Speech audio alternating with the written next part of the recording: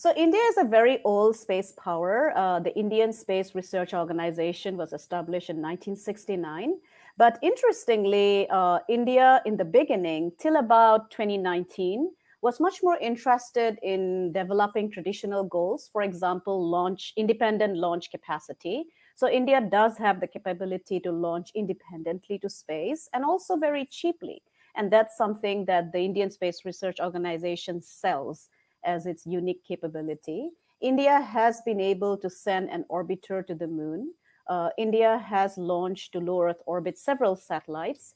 But uh, interestingly, India is now starting to develop plans to actually send humans to low Earth orbit by 2022.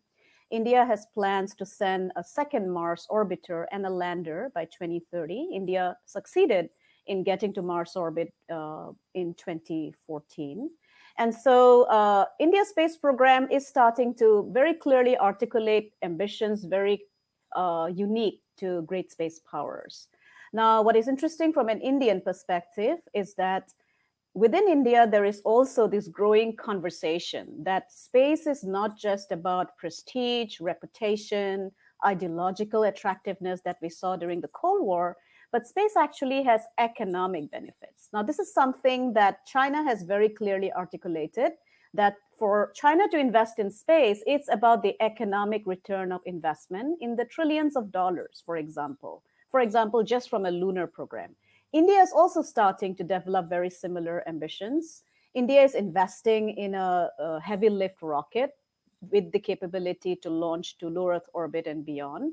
And India is also starting to uh, articulate plans to develop reusability.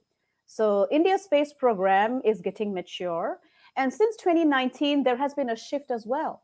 So India has always been very shy of uh, utilizing space for military power projection, has always insisted that its space program is for civilian capability, uh, for helping humanity, including citizens of India, to forecast weather, tornadoes, uh, help agriculture in determining fishing areas on the oceans. But in 2019, India actually tested an anti satellite weapon for the first time and killed one of its own satellites, demonstrating a capability for counter space weapon. And when that happened, Indian Prime Minister Narendra Modi tweeted that India has become a space power today.